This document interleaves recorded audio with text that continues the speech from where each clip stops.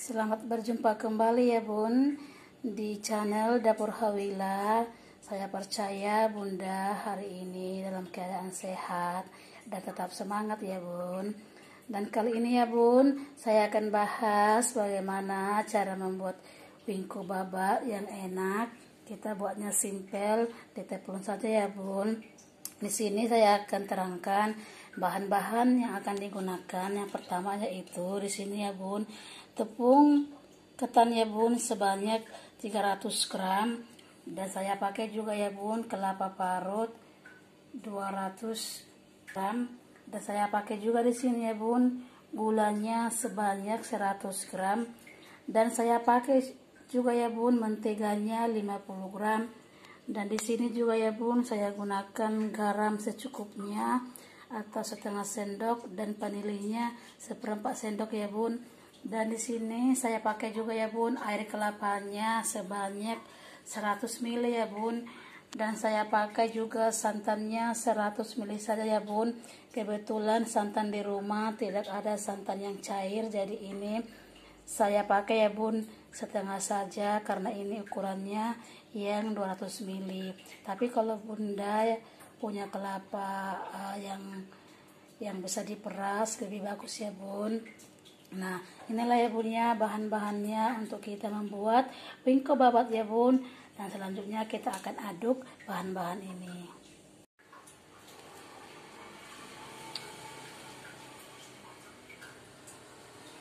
Kemudian kita masukkan 100 ml santan atau setengah ini ya bun.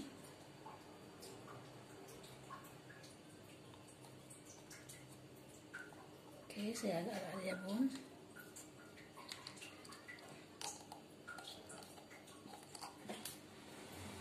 kemudian saya masukkan air kelapa. Yang saya masukkan garam dan vanili.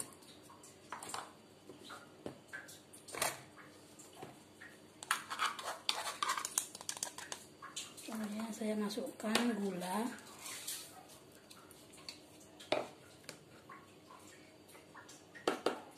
Kemudian saya masukkan mentega ya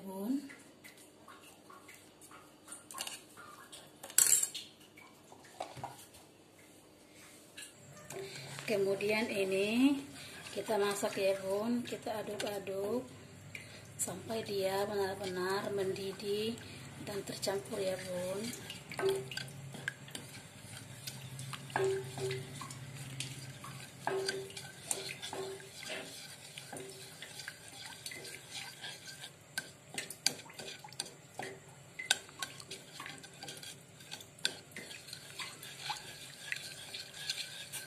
iya bun, jangan lupa ya bantu like dan subscribe ya bun. Videonya dapur Hawila supaya semakin semangat bunda buat videonya. Dan setelah margarinnya seperti ini sudah larut ya bun lalu selanjutnya kita masukkan kelapa parut tadi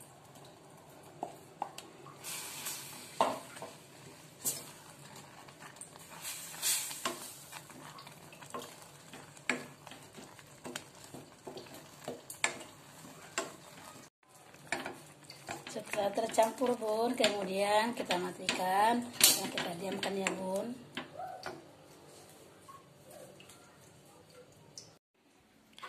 Ya bun. Setelah dingin seperti ini. Kemudian kita campur ya bun.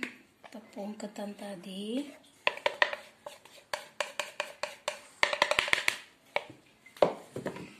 Kemudian kita aduk-aduk ya bun sampai dia bisa. Kita bentuk ya bun.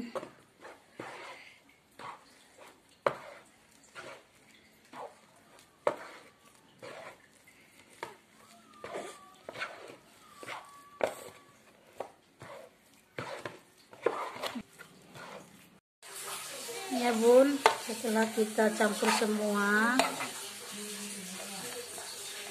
seperti ini kemudian ini pun tangan saya di situ ya.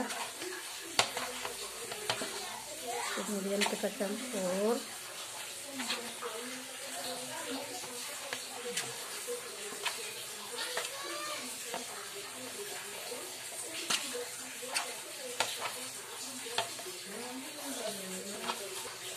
Kemudian ini ya bun memiliki adonan pastikan tangan ini sudah siap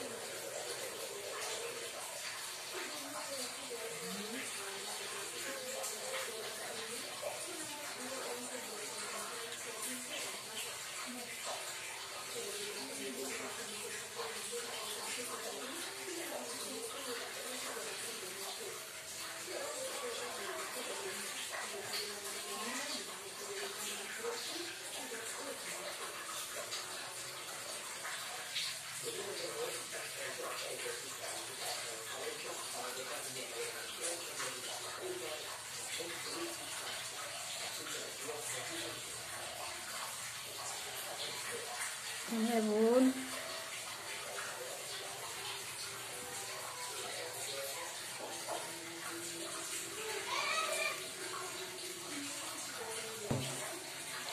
Ya bun kemudian kita siapkan teflon ya. Nanti di sini sudah saya olesin sedikit mentega ya bun. Kemudian saya masukin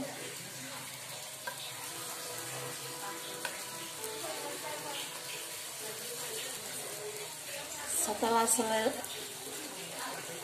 setelah semua siap kita bentuk kemudian kita masukin ke teflon gini bun. Kita masak kita panggang ya bun. Ya bun. Kemudian nanti kita balikkan. Tapi kita tunggu sebentar ya bun. Oh. ya bun. Kita buat dengan api sedang ya. Ya bun setelah uh, 2 menit atau 3 menit kita lihat dulu ya bun di baliknya apakah sudah bisa dibalik.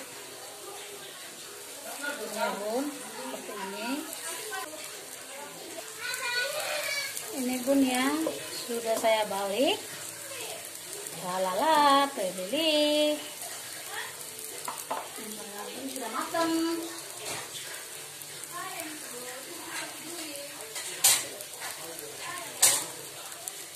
dia matangnya tidak terlalu lama ya bun. Palingan sekitar 2 menit saja. Sudah masak ya bun. Ya sebentar lagi.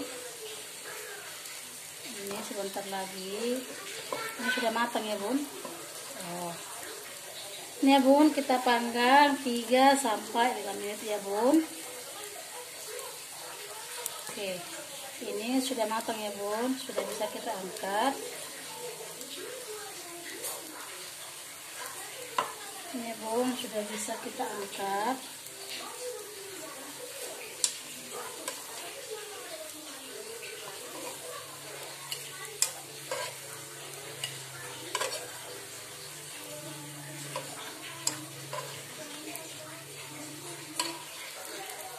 Jadi buatlah seperti ini. Setelah adonan selesai kita bentuk kita masak seperti ini sampai selesai semua ya bun adonannya